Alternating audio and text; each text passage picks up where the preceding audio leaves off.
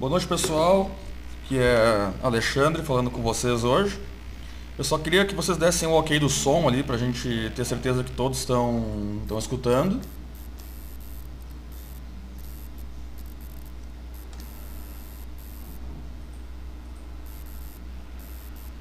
Vamos ver.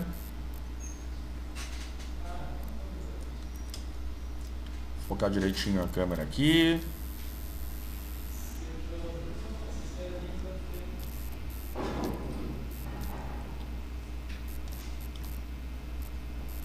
Ok o som, pessoal?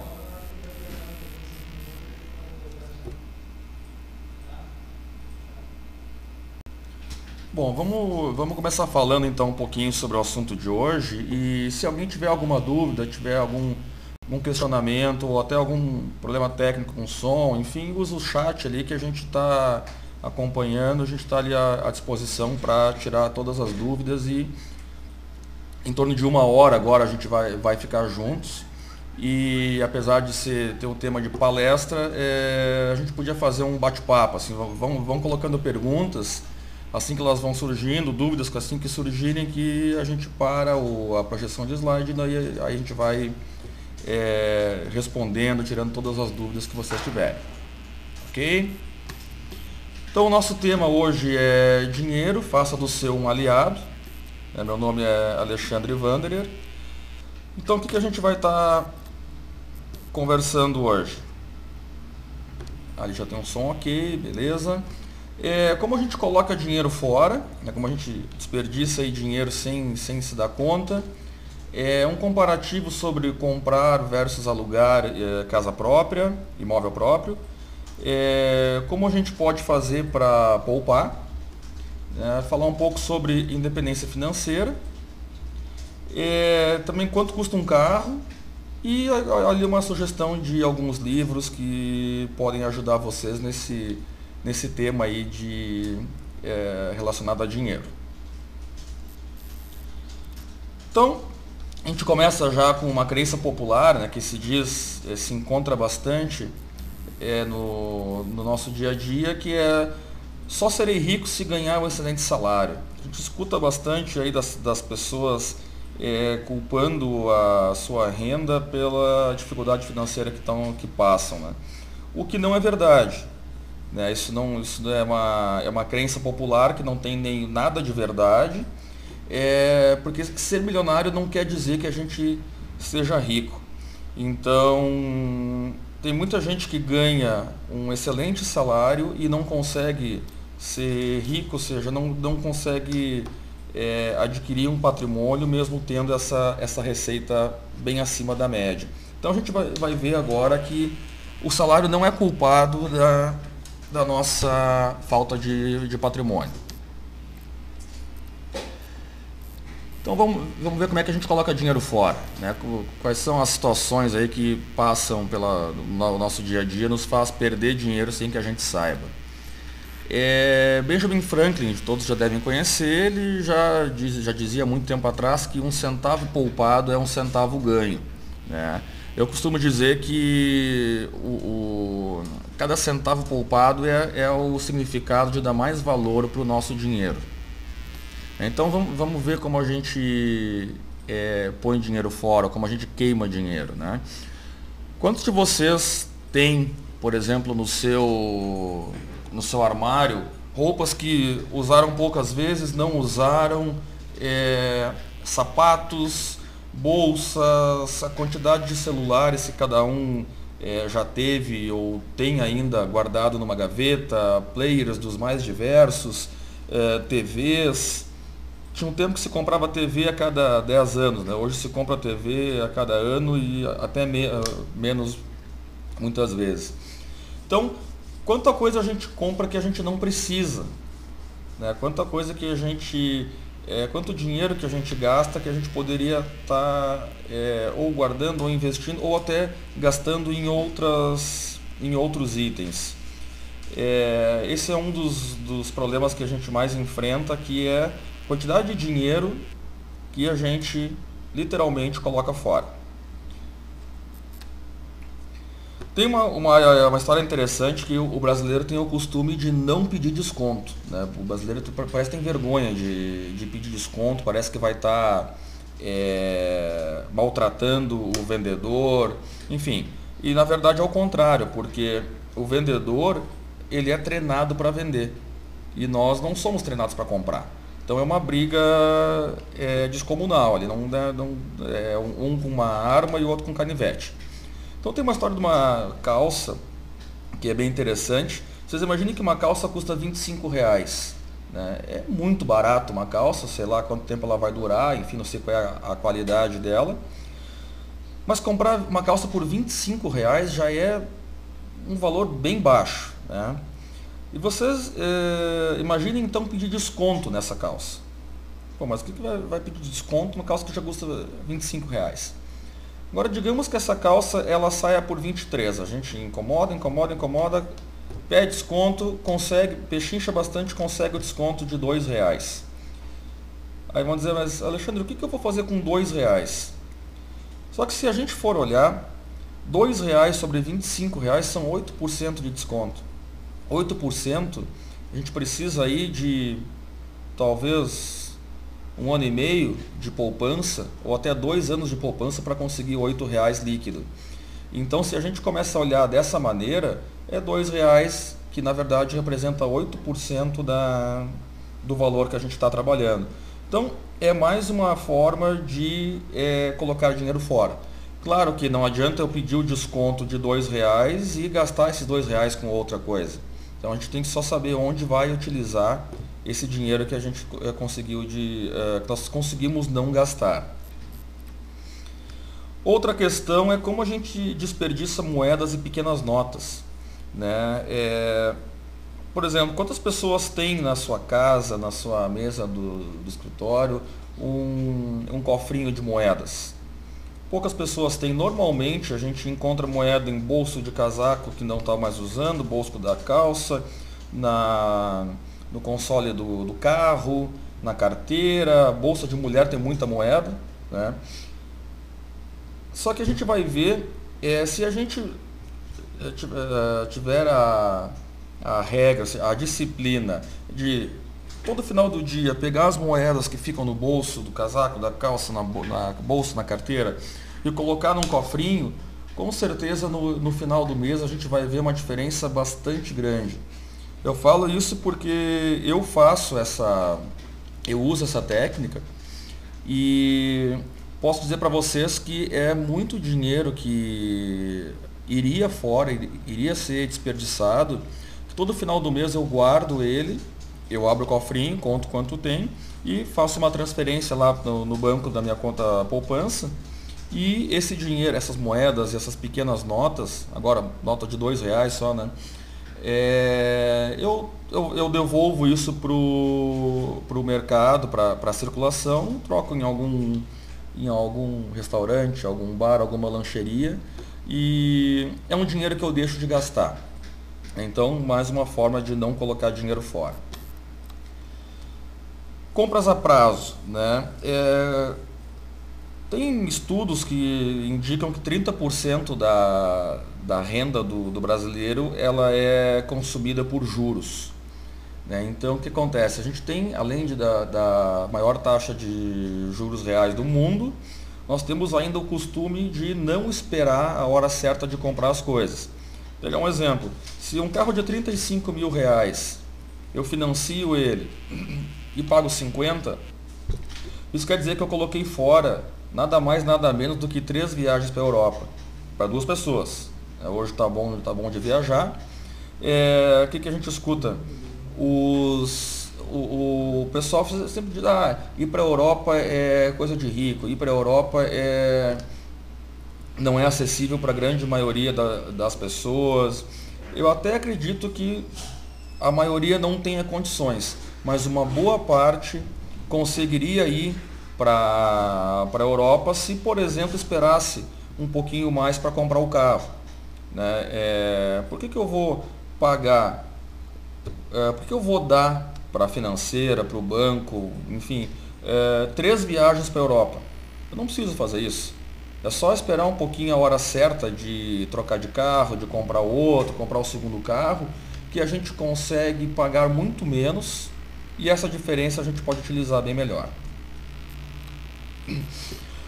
Outra questão é que lazer não é desperdício. Né? A gente vê muitas, muitos consultores de finanças dizendo que para quem está no vermelho tem que cortar a despesa. Corta, corta, corta, corta.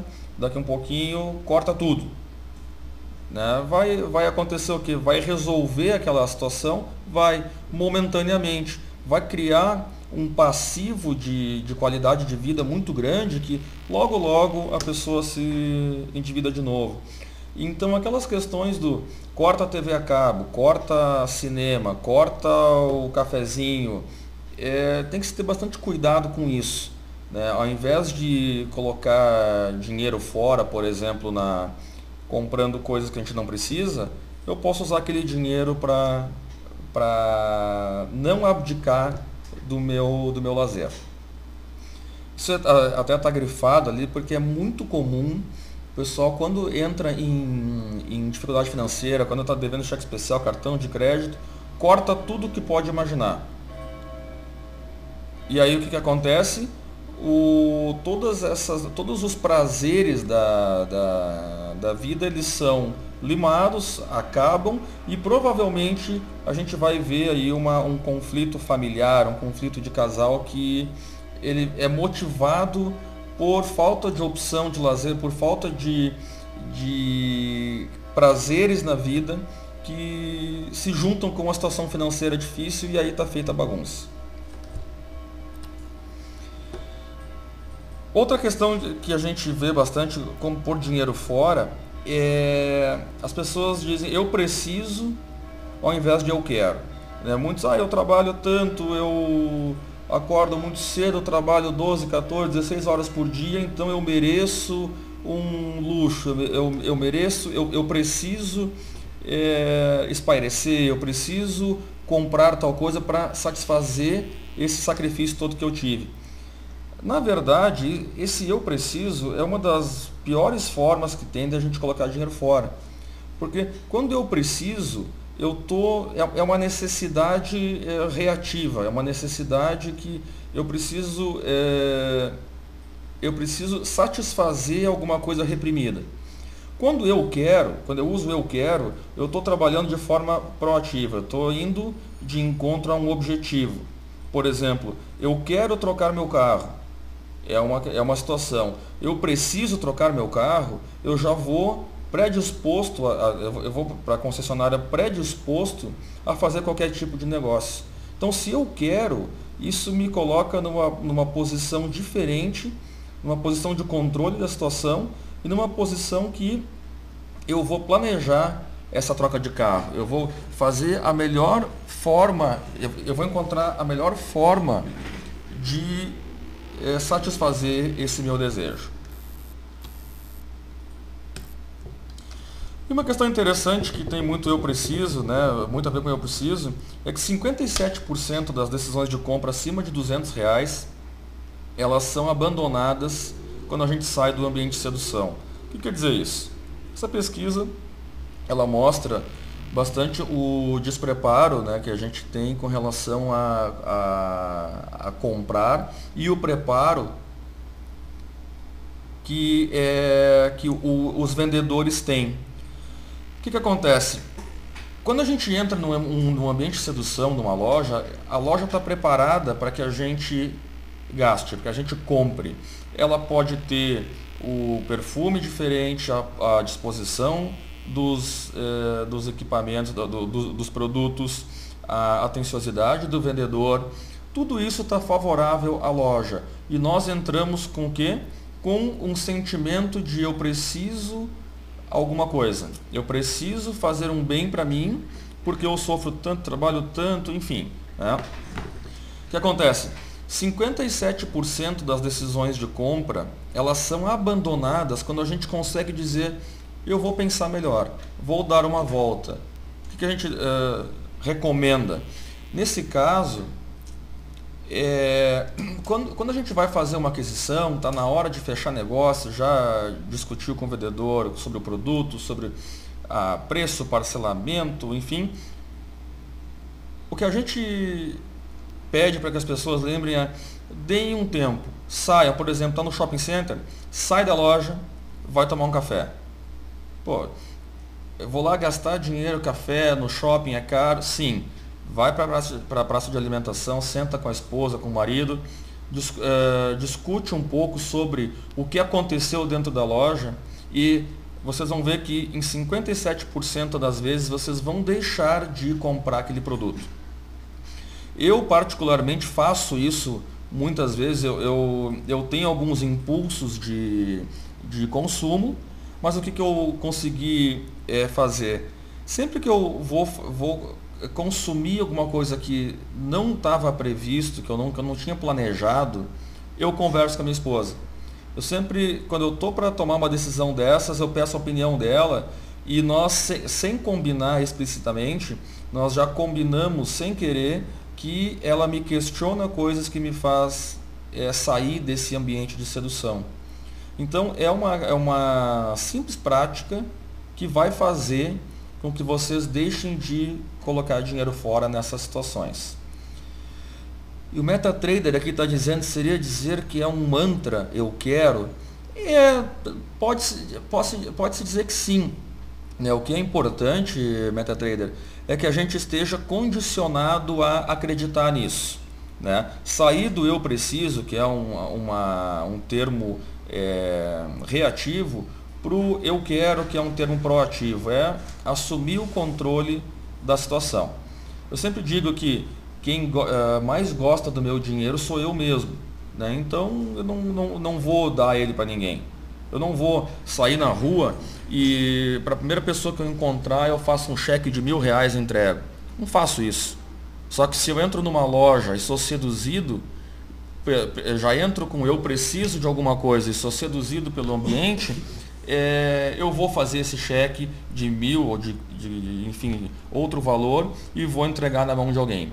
É a mesma coisa do que estar tá na rua entregar isso para um, um desconhecido. Certo?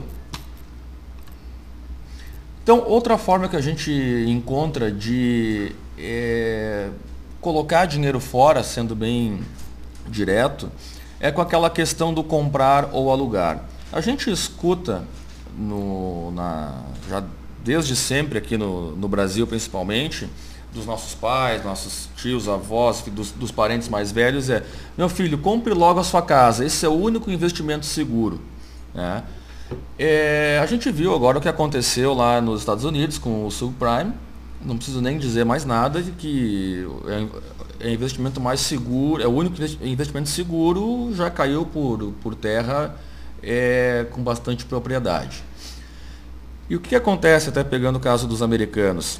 O sonho do americano, quando ele tá na. ele, ele vai para a universidade, enfim, o, o sonho de consumo dele, na verdade, é atingir o primeiro milhão de dólares. Ele tem esse sentimento, ele tem essa, esse objetivo na vida dele. Depois que ele conquista esse, esse milhão de dólares, aí sim ele vai pensar em consumir, em, em comprar casa, em aumentar a casa, comprar carro, enfim. Aqui no Brasil é o contrário. Aqui no Brasil o sonho da, da grande maioria das pessoas é casa própria. Então vai lá, ah, eu vou casar. Quando casa, a primeira coisa que faz é entrar no financiamento para comprar uma casa. Está errado? Não quer dizer que esteja errado. Eu não sou contra a aquisição de casa própria, bem pelo contrário. Eu sou contra fazer essa aquisição no momento errado. Então, pegando um exemplo aqui, as pessoas sempre me dizem, é, mas está falando que alugar pode ser melhor, pô, mas daí é uma coisa que não é minha. Olha só esse, esse caso. Vamos pegar uma situação de um apartamento de 150 mil reais. Eu peguei um valor baixo para a gente poder é, ter, é, é, para abranger o maior número de, de pessoas nesse, nesse cenário. Talvez você me diga, ah, mas na minha cidade não tem como encontrar um apartamento desse valor. É possível. Talvez tenha aqui para um bairro diferente, um bairro mais, mais simples, mas a gente pode tra transpor essa simulação aqui para valores maiores. Um apartamento desse valor, ele possui, por exemplo, aqui na cidade de Novo Hamburgo, um, um aluguel de em torno de 600 reais. Pode ser mais, pode ser menos? Sim. Isso aqui são dados só para a gente poder fazer uma simulação. Né? Se eu faço um financiamento para comprar um, um, apartamento desse valor, eu fiz uma simulação no, no, no site da, da Caixa Federal, talvez as condições de financiamento, eh, se for, se for feita uma negociação direto com o gerente, podem ser melhores, piores. Estou pegando valores uh, disponíveis no site da Caixa. Se eu financiar por 240 meses, eu preciso dar uma entrada de 15 mil reais e vou pagar uma prestação em torno de 1.400 reais. O que, acontece? Se eu pegar somente a diferença do aluguel para essa prestação, que vai dar uma diferença de 829 reais, mais aqueles 15 mil que eu tive que dar de entrada para o banco, e pegar uma taxa de 0,65% ao mês, que é uma taxa conservadora, é uma taxa que é possível para a grande maioria das pessoas conseguirem, eu, vou, eu consigo ter uma eu consigo atingir os 150 mil reais em 112 meses. Então, o que, que vai acontecer? Eu não eu não é, tirei 15 mil da minha, da minha reserva, não estou pagando 1.430 por mês e estou pagando aluguel. Vocês vão dizer, tá, mas Alexandre, os 600 reais que eu pago por mês, eles vão fora. Para aluguel está indo fora. Isso eu, não estou adquirindo nada. Mas vejam bem, além de comprar, de, de ter que dar a entrada e assumir uma prestação de R$ 1.429 por mês, eu ainda não estou contando que eu tenho taxa de transferência na compra, custo de oportunidade, chamada extra de condomínio, uma série de outros valores. E assim mesmo, ao invés de pagar 240 meses para o imóvel ser meu, porque até eu terminar, esse imóvel é do banco. Né? As pessoas acham que estão é, pagando por uma coisa sua. Não é verdade. Esse, esse imóvel ele só vai ser meu quando eu terminar de pagar. Até então ele é do banco. Então eu vou ter a mesma quantia de dinheiro na metade do tempo. Essa é a diferença do comprar versus alugar. Então, qual é o problema de eu morar mais tempo de aluguel? Qual é o problema de ficar, talvez não, não tenha que ficar os 112 meses morando de aluguel, mas por que eu não posso morar 4, 5, 6 anos de aluguel e vou poupando essa diferença? Com certeza eu vou ter uma situação bem diferente na hora de adquirir meu, a minha casa própria. Então eu não sou contra a aquisição de casa própria, bem pelo contrário. Eu acredito que todo mundo deva ter a sua casa própria em algum momento da vida. Só tem que saber a hora certa de fazer essa escolha. Porque aí tem outra questão, né? Se a gente está falando de uma prestação, nesse caso, de R$ 1.400 por mês, nós temos que lembrar que quando a gente compra, a gente talvez faça reforma. Quando, se não fizer reforma, a gente vai estar tá comprando móveis novos, a gente vai estar tá arrumando essa moradia com a nossa cara, com as nossas características. Isso tudo custa dinheiro.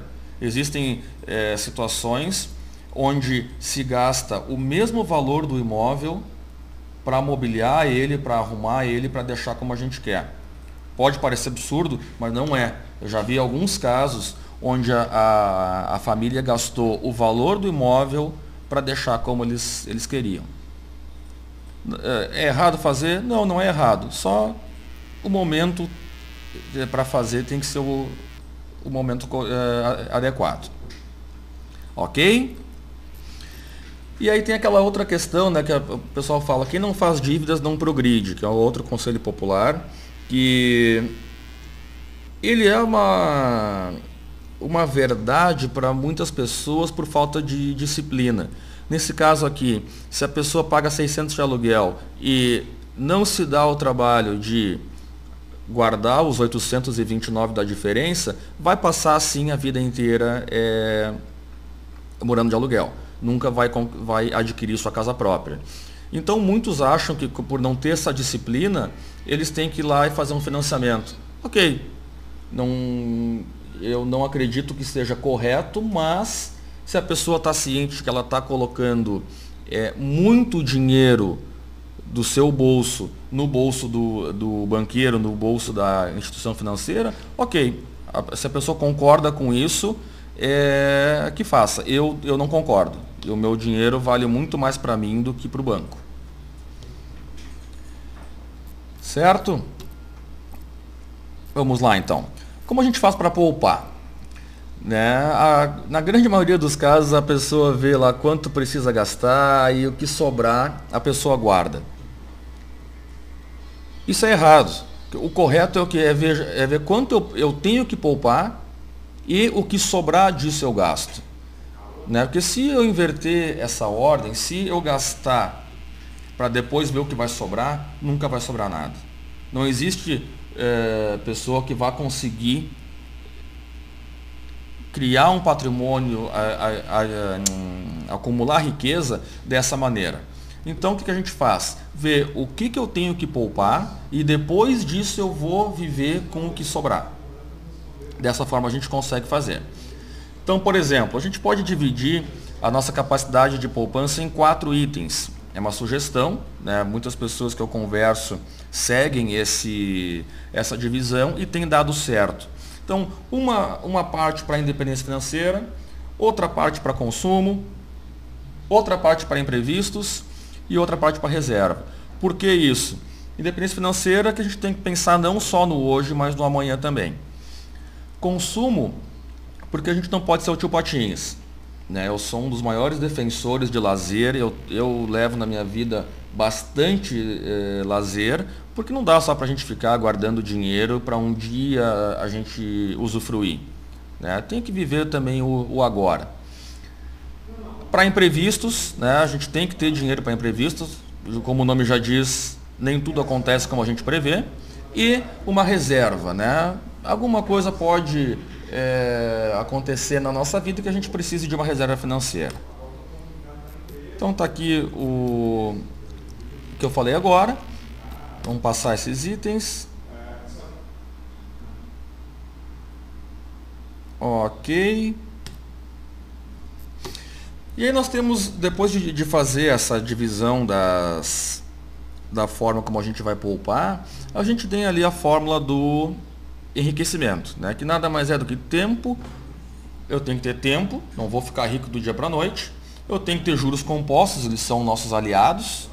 Né? Tenho que tomar decisões inteligentes e, obviamente, que eu tenho que ter dinheiro.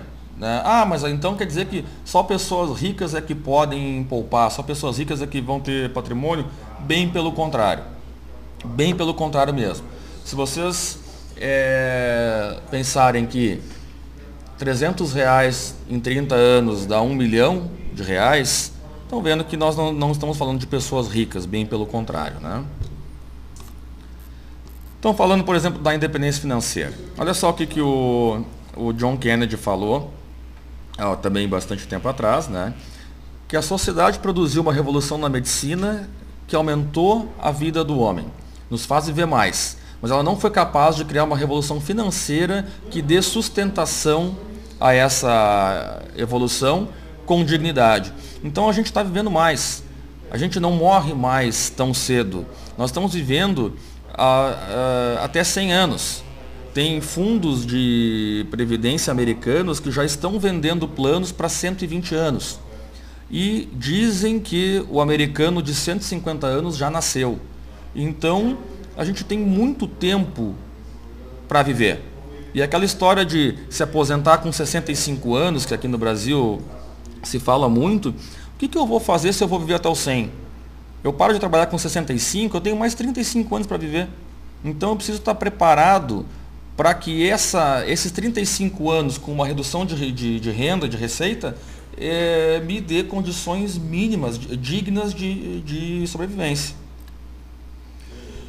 Outra questão, para quem tem aí é, uma, uma idade ali em torno de 30 anos, por aí, é, é, quem, quem tem menos de 20 talvez não entenda muito bem, mas quem tem um pouquinho mais, os nossos pais, eles não pensaram no futuro e agora os filhos têm de ajudar, os filhos têm que resolver essa situação. Por que não pensaram no, no futuro? Porque não dava. Nós tínhamos inflação de a superinflação, a hiperinflação que chegou a 80% ao mês, então não tinha como pensar em futuro. Não, não tinha como pensar em guardar alguma coisa, que tudo tinha que se consumir. Todo o dinheiro que a gente recebia tinha que consumir, porque as coisas iam aumentar de preço drasticamente de um dia para o outro. Então eles não, não, se, não se prepararam para isso. Nós não podemos mais contar com o INSS. Tinha um tempo que as pessoas uh, faziam uma, o, o, que dava para contribuir com o máximo do INSS para ter a sua aposentadoria garantida. Não dá mais. A gente não sabe até quando o INSS vai conseguir pagar é, os seus aposentados. E será que está correto a gente ter que trabalhar até o final da vida para sobreviver? Será que está certo eu lá com 90 anos ter que trabalhar 12, 14, 16 horas por dia é, só para ter o, o, dinheiro da sobrevivência? Eu acredito que não, eu acho que não está certo.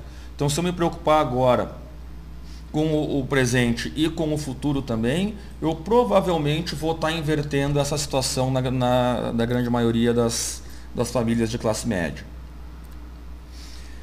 E uma coisa importantíssima é que muitas vezes, em função de necessidade de sobrevivência, a gente acaba fazendo o que não gosta. Quantas pessoas que eu, que eu converso, que eu, que eu ajudo, que a pergunta que eu faço é: vocês gostam do que fazem? Na grande maioria das respostas é não. Que as pessoas trabalham não no que gostam, e sim no que precisam para sobreviver. Então, enquanto a gente não inverter essa roda, nós vamos estar abrindo mão de qualidade de vida. Ok? Então vamos ver direitinho o que é essa independência financeira que eu estou falando. Né? Imagine-se é, é, independente financeiramente. O aumento da qualidade de vida, mais tempo com a família, trabalhar por prazer e não por obrigação, é, conhecer o mundo. Cada um tem o seu desejo. Esses dias eu estava ouvindo uma pessoa que queria ser. É, queria ter a profissão, que não me lembro agora o nome, mas que estuda os passarinhos. Essa profissão não paga nada. A renda que ela dá é muito pequena, mas é um desejo dessa pessoa. Então, o que, que acontece? Se eu quero fazer isso, é, eu preciso ter condições de me manter para poder trabalhar com uma, uma, uma, uma, renda menor. Então, como é que a gente calcula a parte da, do quanto eu preciso ter, então, para ser independente financeiramente? O que a gente faz? Ali eu peguei uma situação onde é, eu preciso de uma renda mensal de R$ 1.500. É, esse, se eu aplicar uma quantia de capital que me renda, me renda meio por cento ao mês, que é uma rentabilidade é, possível de se conseguir para a grande maioria das pessoas, eu preciso ter um capital de 300 mil reais aplicado. Então, o que, que, que, quer dizer? Eu tenho que guardar 300 mil reais para que, aplicados a meio por cento ao mês, me, me deem uma, uma, uma renda de 1.500 reais. Aí vocês vão dizer, ah, mas é R$ 1.500 é pouco. Ok, só multiplica esse valor pela quantidade que vocês é, necessitam. Por exemplo, para quem precisa de 15 mil por mês, tem que ter ali a quantia de 3 milhões de reais. Ok? Dessa forma, eu não preciso mais de é, entrada de dinheiro para manter o meu padrão de vida. Ok, pessoal?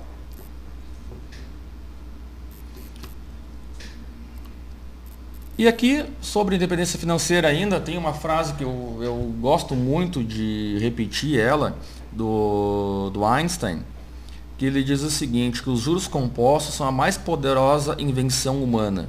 Pô, se o Einstein disse isso, como é que eu vou dizer que não? Né? E olha só que interessante. Aqui tem duas tabelas que nos mostram a, o poder dos juros compostos. Se eu tenho uma aplicação é, de 0,65% ao mês, eu aplicando 300 reais por mês, eu tenho aqui em 30 anos 429 mil reais. 300 por mês em 30 anos deu 429 uh, mil. Aí vocês vão dizer, pô Alexandre, mas no slide anterior tu falou que 300 por mês dava um milhão. Sim, Se eu consigo uma taxa de 1% ao mês, os mesmos 300 em 30 anos, eles chegam a 1 milhão. Então eu mais do que dobrei o meu, o meu investimento com a mesma quantia poupada, com a mesma quantia aplicada. O que, isso quer dizer? Que os juros compostos fazem literalmente milagre com o nosso dinheiro. Então aqui embaixo tem até uma situação, é, mais por curiosidade, que é, eu consegui essa informação que a ilha de Manhattan, Nova York, ela foi comprada dos índios em 1624 por 24 dólares. Se eu pegasse esses mesmos 24 dólares e aplicados a juros compostos, a taxa de 8% ao ano, eu teria no final de 2000 88 trilhões de reais, que daria para comprar toda a ilha de volta com tudo que foi feito nela. Então vocês vejam a, a, o, o poder do juro composto. Obviamente que é um dado só para curiosidade, mas ele demonstra direitinho como a gente consegue ganhar muito dinheiro aplicando isso para a gente. Ok? E agora, quanto custa um carro? Esse aqui também é um estudo bem interessante. Peguei um carro é, de 30 mil reais, acessível para grande maioria das pessoas. E as pessoas quando compram o carro, elas, elas, elas verificam se tem condições de pagar a prestação mensal. Só que esquecem que tem muito outro gasto embutido. Então, olhem só essa, essa tabela. Eu, de novo, estou sendo bastante conservador nos números. Né? O que, que acontece num carro de 30 mil reais? Eu pago por ano R$ 1.200 de seguro, 4% ao ano. Né? Ah, é, tem seguros mais caros, mais baratos, mas na grande maioria dos casos ele fica em torno desse valor. IPVA também, vai, vou pagar em torno de R$ 1.200 por, uh, por ano. Estacionamento, para quem mora nas capitais, esses R$ reais por mês chega a ser uma piada. Né? Porque não tem como estacionar um carro o mês inteiro com 100 reais. Então esse valor aqui, ele tranquilamente dobra, no mínimo, para quem mora em capitais. Um custo de manutenção de eh, 80 reais por mês também é muito. Eh, ele é bem conservador, eu estou falando aqui de troca de pneu, troca de óleo, de filtro, de, de componentes. A depreciação do carro é, em torno de, de 6 mil reais ao ano. Custo de oportunidade, que nada mais é do que o, o que eu poderia fazer, o, o, que esse dinheiro poderia estar me rendendo se eu não tivesse gasto ele. E nós temos aqui a impressionante quantia de 12 mil reais por mês, uh, por ano. 12 mil reais por ano é o que eu gasto com o meu carro sem que esse, esse gasto fique explícito. Isso quer dizer que eu tenho mil reais por mês. Bom, se eu gasto 12 mil por ano, isso quer dizer que em dois anos e meio eu gastei mais um carro sem saber. Se a, a maioria das pessoas soubessem, tivessem esses números na sua frente, nós não teríamos o, o, tantos carros andando na rua assim. Então vocês estão vendo que aqui, além de eu pagar juros pro, na compra do carro, aquele, aquele exemplo que eu usei antes, o carro de 35 mil eu vou pagar 50, se eu pegar, é só que interessante, em dois anos e meio eu vou, vou gastar o valor do carro, então seja 30 mil, mais os 15 que eu estou pagando de juros. E eu estou sendo bem conservador, tá pessoal? Eu estou falando de 45 mil reais a cada dois anos é bastante dinheiro e esse dinheiro poderia muito bem contribuir para a gente chegar lá na nossa independência financeira. Seja no milhão, nos 3 milhões, cada um calcula o, o seu valor. Então estão vendo que ficar rico não é mágica. É simplesmente uma questão racional de trabalhar com seu dinheiro. Ok? Então aqui eu, eu, eu reuni um, alguns livros que Acho interessantes, teria outros mais complexos, mas eles, eles trazem uma abordagem bastante simples. Eles trazem uma, uh, trazem uma, uma quantidade de informação bastante interessante Que o primeiro deles é o Pai Rico, Pai Pobre, do Kiyosaki, é um dos mais famosos livros que a gente tem aí na, no mercado de, de finanças pessoais.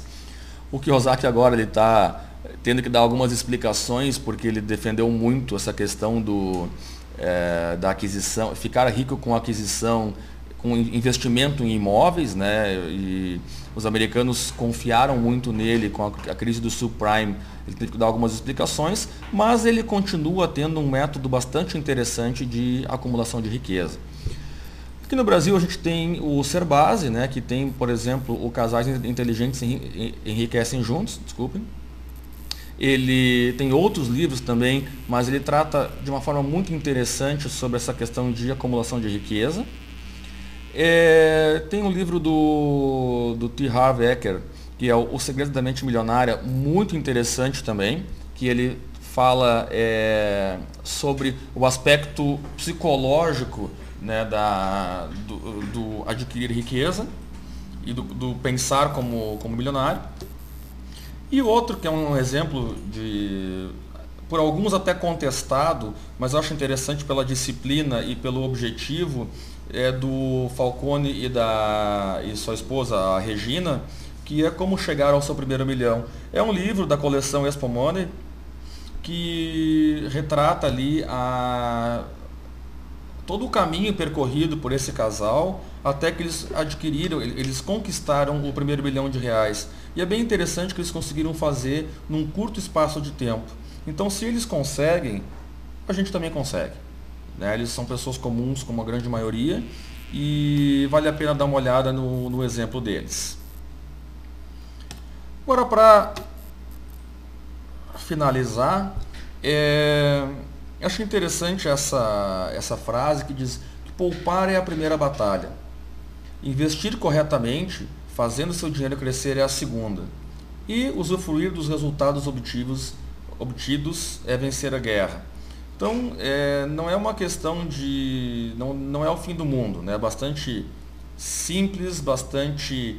É, não vou dizer fácil, mas é bastante lógico esse raciocínio e a gente tendo disciplina, a gente com certeza vai chegar nos nossos objetivos.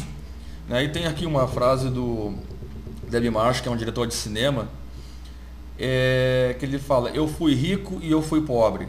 Acredite em mim, ser rico é melhor. Então aquela história do é, é, dinheiro não traz felicidade, mas manda, manda comprar, é, eu acredito que o sofrimento é o mesmo, mas sofrer em Paris deve ser bem mais legal do que sofrer aqui.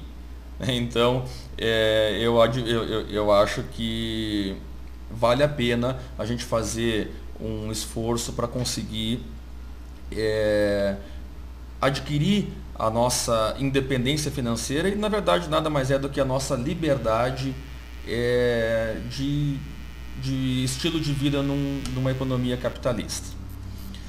Vamos ver aqui, o MetaTrader pergunta qual desses eu escolheria ou que considero melhor. Eu acho que é sobre o, os livros, né?